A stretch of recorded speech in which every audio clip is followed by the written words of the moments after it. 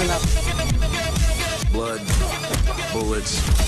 When the FBI wants to find somebody, that's who they call. But Goldberg's so intense all the time. All right, take your time.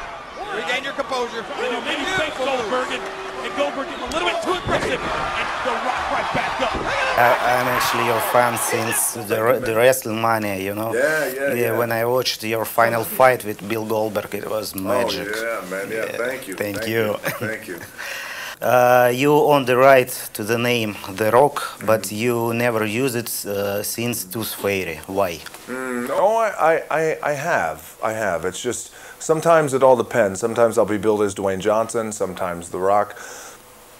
I never wanted to make a big deal about it. Um, you know, very proud of the name, though, by the way, because it's my nickname. It's a name that I put a lot of effort and I earned that nickname. Plus, it's the coolest nickname in the world. but yeah, there's, there's no there's no reason behind it, no strategy like, oh, for this movie I need to be billed as The Rock or Dwayne, you know, because it, it all goes back and forth. People call me Dwayne, people call me The Rock. It's all the same. Uh, your on-screen chemistry with Vin Diesel is uh, mind-blowing. It's you know like Chuck Norris and Bruce Lee in the same shot. It's fantastic.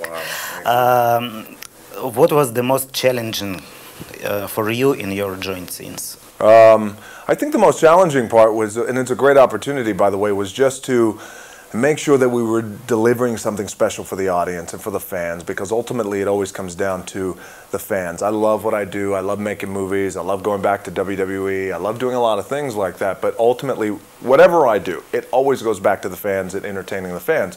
So with me and Vin, uh, we wanted to make sure that we were we were really delivering something special to them because we're two guys that you never thought we would do a movie together. Um, certainly, you know, it's not like we're doing a cameo. It's a little, you know, two three minutes here and there. A full-on movie where I'm hunting his ass down and I'm chasing him down. I'm going to fight him too. So there's there's a lot of effort and thought put it put into this. Um, so the most challenging part was simple. Was just well, it was simple in terms of of uh, understanding what it is, and that is just entertaining the fans. So how do we deliver something good for the fans? And so with that, you see Fast Five.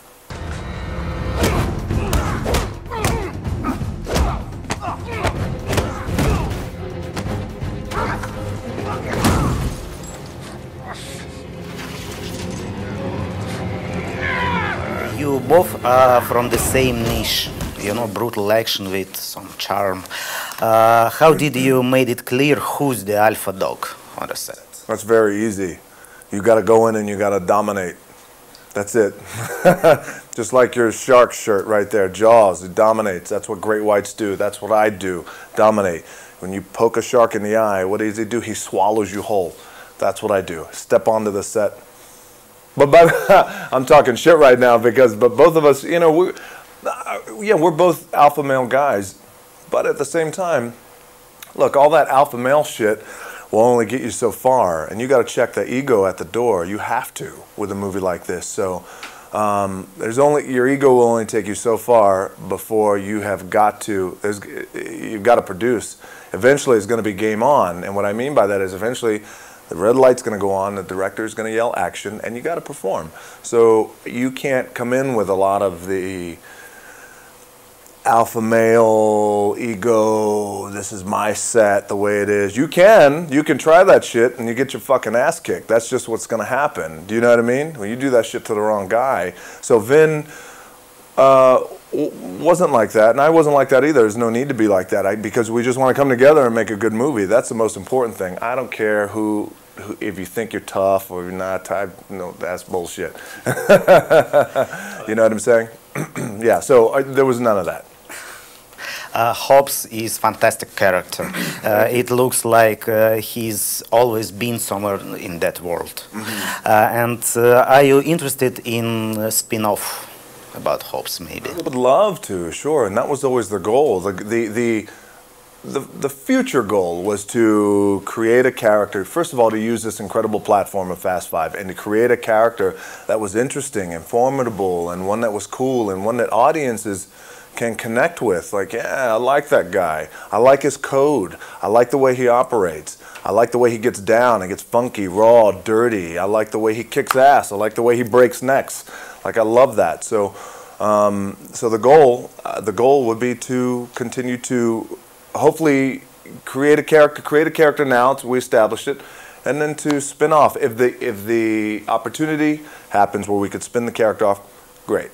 Um, if not, then I've had a great time, you know, in this franchise and hunting down Vin and Paul Walker and the whole group. Okay, and uh, I've heard that you're a movie fan. Uh, could you tell me about your preparation for the, for this part? Maybe a dozen of titles of Steve McQueen's or Clint Eastwood's. Oh my gosh, sure. Well, you know, I didn't have to watch a lot of movies. I mean, all you know, Clint Eastwood, Steve McQueen, Charles Bronson, Lee Majors. Um, guys like that are guys who I love those type of characters from back in the day, the 70s and the 60s. So I didn't have to watch a lot of movies as much as I did just have to remember those characters. And this is the fun part about this character, Hobbs, Luke Hobbs, because we created from scratch. This is it from scratch. No other actor has played this, so there's no reference. We created from scratch. How he walks, how he talks, how he operates, how he thinks four or five steps ahead of everybody, how he kicks ass, how efficient he is, proficient with a gun. Um, and at any moment, I wanted to create a cool character. Like those characters in the past, by the way, with Steve McQueen, Clint Eastwood.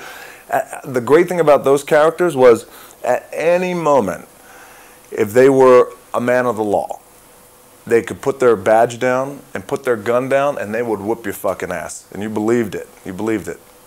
I love that. That's what we wanted to create.